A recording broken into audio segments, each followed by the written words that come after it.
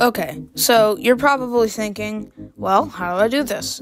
I can show you, but first, we gotta start at the beginning. Today, we're taking a look at our mod at my mod called the History Update.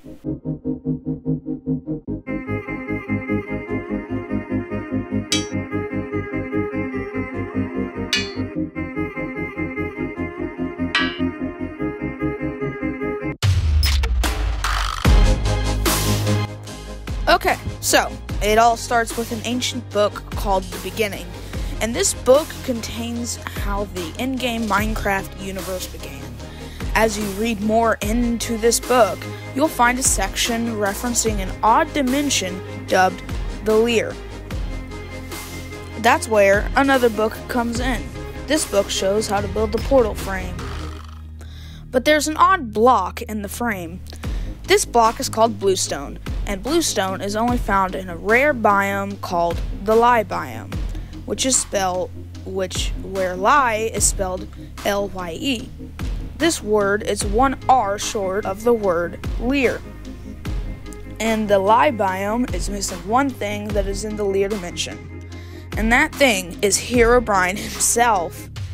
Anyway, after you build the frame, you can go and face Herobrine.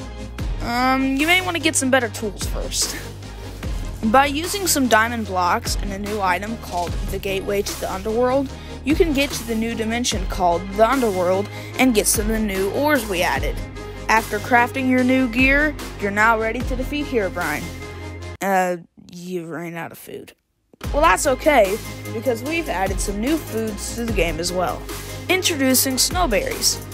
These berries are really easy to find and the berries that they give you can be crafted and smelted into many different foods. Okay, you have some raw snowberry foods now. Now, what are you going to smelt smelt them with?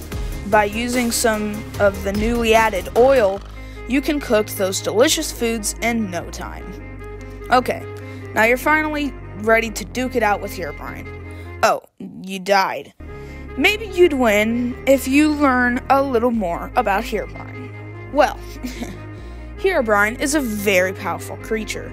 Not only does he have a lot of health, but he is also insanely quick. Herobrine also has another thing going for him that makes him really strong. Whenever Herobrine is damaged, he spawns a ghoul nearby. Ghouls have low health and deal very little damage but they will attack any living creatures nearby. And if they kill the creature, another ghoul is spawned. Now you can finally kill Herobrine, and in the token of Herobrine, which is perfect to show off to your friends. Hey guys, thank you so much for watching. Uh, it was such a joy and a pleasure making this video for you guys. Um, and while we took a look at some features in the mod, there's still so much more for you guys to go and explore. So, link in the description below. Uh, go and download it. It is a 1.16.5 Forge mod. Okay, and there's still a lot of bugs and quirks that are in this mod, and we hope we can uh, fix these bugs and make them better. Anyway, thank you all for watching. Uh, please consider subscribing. It helps out a ton and shows me that y'all liked this video. Um, anyway, peace out, guys.